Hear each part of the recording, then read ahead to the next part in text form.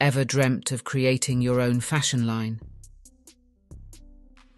Today, we're exploring essential design techniques that can help you achieve that.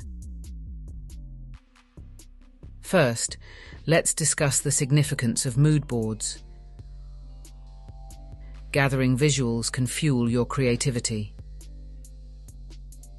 Next, we'll dive into draping techniques, seeing how fabric falls can inspire new designs. Finally, we'll cover how to create a cohesive collection that tells a story. Ready to start your journey? Share your mood boards in the comments. Like, subscribe, and hit the bell for more tips. Let's create something special together.